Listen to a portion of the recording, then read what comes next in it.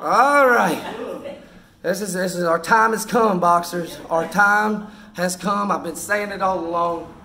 Um, the reason I teach boxing first, so I'm not just a boxing gym. Y'all better recognize season 14 of the Ultimate Fight.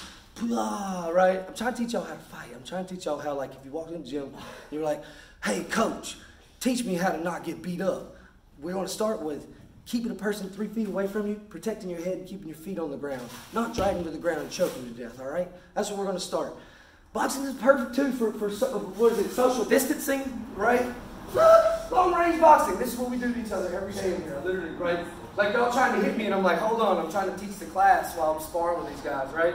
They're trying to hit me. Like that's exactly what we're supposed to be doing, right? But then to, to articulate that I'm not just a boxing coach, right? So, so Zach, like, it's not respecting my personal boundaries, right? So, like the boxing, I don't want to touch him today. These are really sweaty guys, The fans normally always running. All right, all right. Stop, stop, stop, stop, stop, stop, stop. That's enough, that's enough. So I'm not going to touch Zach today. I'll make it, make with my, with my hands, right? Because I might touch my face with my hands. So I, am going to use my foot. I'm going to use my foot jab, right? We're calling this, what do you call it? Pandemic push kick, right? So like he wants to come up and he's like bound and determined he's going to touch me. All I'm going to do is pick my front foot up, right? My hand comes up to protect my face, right? As he comes forward, and then I'm, it's a, it's a, I, I jam my hip forward, right?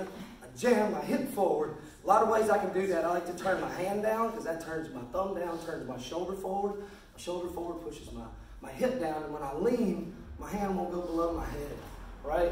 So as he comes forward, I can literally just give him a little like, hey, I said, take a step back, buddy. And I'm going belly, right? I like the, the, the big toe and the belly button. My personal favorite, but you know what I mean? Like anywhere, not in the gym, don't, don't anywhere, anybody in the gym, so I get this fancy pad. I'll wear this for them because I'll trust them. I wear a whole big belly pad. So we'll let you guys work it. Pandemic push kick, right? Uh, uh, uh, uh. Pandemic push kick. Come on, Julie. Julie's been practicing social distancing in the gym the whole time she's been here. She has maybe gotten one drop of sweat on her the whole time she was here because she knows how to keep people out of range, right? Long, long and straight. Like I like the front foot right because you can just come right up and uh, kick, kick the crap out of Julie. right? And like, oh, there you go. Right?